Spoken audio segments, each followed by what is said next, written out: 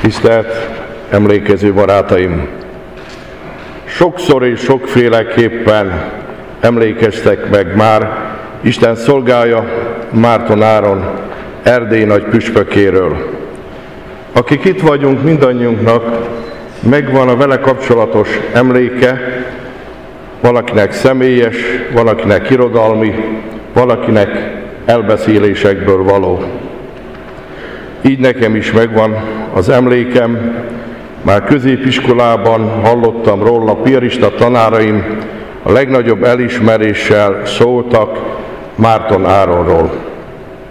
Sajnos soha nem találkozhattam vele személyesen, holott találkozhattam volna, ha kispap koromban, amikor vittük nagy tételben a könyveket Erdélyben, el nem fog bennünket a szekuritáte.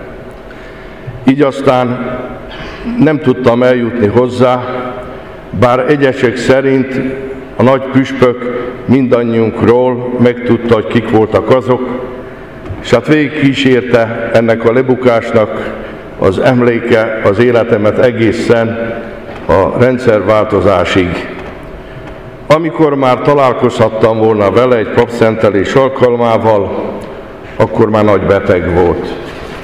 De mindig úgy rémlik föl az emlékezetemben, hogy azok közé tartozik, akik a legnagyobbak voltak, Pázmány Péter, Prohász Kotokár, Vincenti József Bíboros, Magyar Egyház történetében. Három B betűvel kezdődő tulajdonságát említeném meg most röviden. Bátor ember volt, becsületes ember volt, és boldog ember. Bátor ember, hiszen a nagy háborúban, amire manapság minden nap visszaemlékezünk, egy-egy hőstettet sorolnak föl, hogy ki mit cselekedett magyar katonaként a nagy háborúban. Még nem hallottam Márton Áron fölemlíteni, bár őt is oda lehetne sorolni, hiszen önkéntesen jelentkezett, háromszor sebesült, megkapta a Signum Laudis díj második ezüst fokozatát, a Károly király csapatkeresztet, és akkor, amikor Magyarországon az őszi rózsás forradalom alatt a magyar hadsereg összeomlott, akkor ő jelentkezett a székely hadosztályba. Erről nem sokat beszélt, de amikor életéről szó volt és röviden jellemezte, mindig belevette ifjú korának ezen eseményeit. Igazi bátor ember volt, bátor katona is. És aztán papi életét így jellemezte második János Pál pápa, amikor nyugdíjba helyezte őt, vagy kérését elfogadta, integerimus domini servus.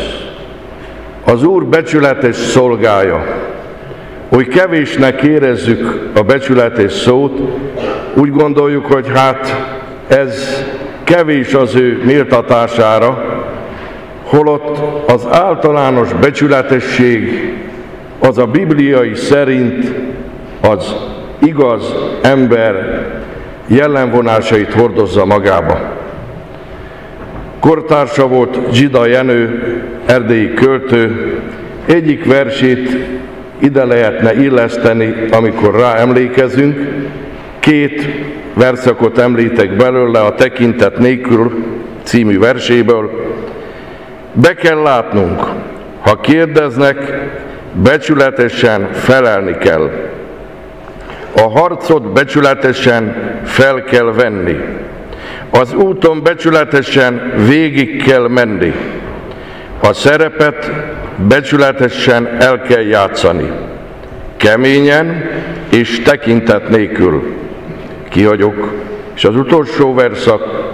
Krisztusnak és Pilátusnak, farizeusoknak és vámosoknak, zsidóknak és rómaiaknak egyformán szolgálni nem lehet. Ő volt az a püspök, akinél az igen igen volt, a nem nem. A mai idők diplomáciai köntörfalazásaira és az igazságot elhomályosító, elfedő beszédjére egy igaz embernek a szavai visszacsengenek, akár amikor, ahogy az elnök úr is említette, a Szent Mihály templom szószékéről az embertelenség ellen felemelte szabát, ugyanúgy a csíksomjói búcsún, és bármikor, amikor megkérdezték őt. A becsületessége egész lelkipásztori munkáját jellemezte. Non recusó laborem, nem viszolygok, nem óckodom a munkától, védőszentjének Szent Márton jelmondatát tette magáévá, és egész élete az apostoli lelkülettel, népért, egyházáért, mint egy fehér vértanúként, és sokat szenvedett hitvallóként múlt el, és így lett ő boldoggá. Ez a harmadik jellemvonása, ő nem csak most a boldoggá avatására készülve boldog, hanem akkor is az volt, hiszen hogyha elolvassuk a hegyi beszéd nyolc boldogságát, vagy a Lukács féle változatban a négyet, azok mind ráillenek. A szegényekkel való azonosulás, az igazság szeretet, az üldözöttség, az mind ráillik az ő életére, és ezért bibliai értelemben földi életében is boldog volt. Most várunk a hivatalos boldoggá avatására, de úgy gondolom, ez már csak pecsét lesz a valóságon. Hiszen hisszük, hogy halálával elnyerte az üdvösséget, most már csak a hivatalos megnyilatkozás kell, hogy ezt az egyház is elismerje. Aki szent képekre egy imádságot írtak, Márton Áron szenti avatásáért, úgy gondolom, hogy a az emlékülés és konferencia kezdetén ez az imádság az, ami érte szól, és legjobb emlékezés Isten szolgájára, Márton Áronra. Istenünk, te Áron püspököt arra választottad ki, Thank you.